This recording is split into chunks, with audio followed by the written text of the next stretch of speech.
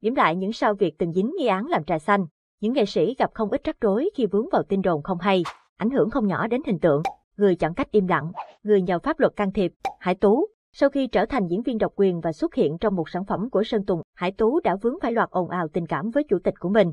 Dù là gương mặt mới của showbiz Việt nhưng Hải Tú là cái tên làm dậy sóng làng giải trí ngay từ khi ra mắt. Sau khi đóng chung MV với Sơn Tùng, Hải Tú liên tục bị đồn là có quan hệ tình cảm với anh. Chuyện này trở thành đề tài khá ầm ĩ trên mạng xã hội một thời gian dài. Sau đó hàng loạt bằng chứng bị tung ra như Hải Tú cố tình diện đồ giống Sơn Tùng, viết thư tình dài năm trang cho sếp, kèm với ồn ào tỏ thái độ tại họp báo khiến hình ảnh Hải Tú ngày càng xấu đi trong mắt công chúng. Ngay sau khi Hải Tú bắt đầu xuất hiện trở lại showbiz sau nhiều tháng vắng bóng, cũng là lúc độ lên tin đồng cô đã sinh con vì vóc dáng thay đổi, có dấu hiệu giống nhiều mẹ bỉm sữa sau sinh. Vào đầu năm 2023, trong loạt ảnh được Hải Tú đăng tải, góc chụp của bức ảnh được cho là trùng khớp với view phía sau khu biệt thự tại nhà bè của Sơn Tùng MTV. Chi tiết này lại càng làm cho dân tình khẳng định về việc cả hai đang sống chung. Đến nay, cả hai vẫn giữ thái độ như mọi khi, đó là không đã động hay lên tiếng bất cứ điều gì. Quỳnh Thư, Quỳnh Thư hai lần vướng tin đồn là người thứ ba xen vào mối quan hệ của người khác. Mạng xã hội từng lan truyền đoạn video cô sánh đôi bên thiếu gia Đức Phạm, chồng Diệp Lâm Anh. Cả hai được cho là đang bí mật hẹn hò. Quỳnh Thư bị nhiều người chỉ trích, ném đá cho rằng cô là tiểu tam xen vào hôn nhân của Diệp Lâm Anh. Tuy nhiên, nữ diễn viên 32 tuổi giữ im lặng trước bão dư luận. Tháng 7 năm 2020, Quỳnh Thư bị ngờ vực là người thứ ba khiến hôn nhân của Doãn Tuấn và Quỳnh Nga tan vỡ. Thời điểm đó Quỳnh Thư bức xúc khi bị đồn là con giáp thứ 13.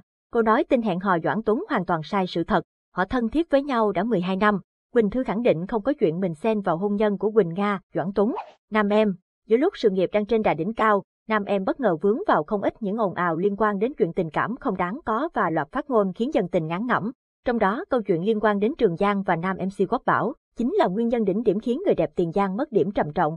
Giữa tháng 3 năm 2018, nam em thừa nhận mối quan hệ tình cảm với Trường Giang. Cô cho biết mình và Trường Giang có chuyện tình 30 ngày, ngay giữa thời điểm Trường Giang vẫn đang là bạn trai của Nhã Phương. Kể lại những cảm xúc khi yêu Trường Giang, nam em chia sẻ, thời điểm đó, tôi có nghe phong thanh về việc anh Giang và Nhã Phương có trục trặc trong mối quan hệ. Tôi có hỏi anh, không khẳng định nhưng anh nói với tôi rằng, không ổn một chút nào. Về phía Trường Giang anh thẳng thắn thừa nhận với báo giới, tôi nghĩ nam em không phân biệt được tình cảm yêu thích và hy sinh vì tình yêu, cũng mệt mỏi, nhưng nam em dường như có vấn đề gì đó về đầu óc.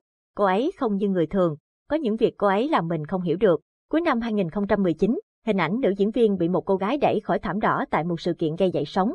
Cô gái đó chính là Bảo Trân, vợ chưa cưới của nam MC Quốc Bảo và vụ xô xát trên xảy ra do nam em bị nghi vấn là người thứ ba chen vào mối quan hệ của cặp đôi. Bảo Trân cho biết mối quan hệ của họ đã kéo dài 3 năm, chung sống như vợ chồng dù chưa đăng ký kết hôn, thậm chí đã có một cô con gái. Trước những cáo buộc của Bảo Trân, nam em nói cô và Quốc Bảo đã cắt đứt mối quan hệ vì biết được nhiều chuyện không tốt. Nếu Bảo Trân tiếp tục vu khống, nam em còn thẳng thừng sẽ nhờ đến pháp luật giải quyết.